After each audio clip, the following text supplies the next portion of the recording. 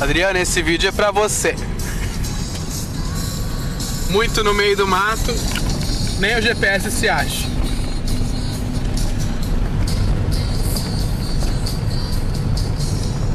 Tem vaquinhas, ó.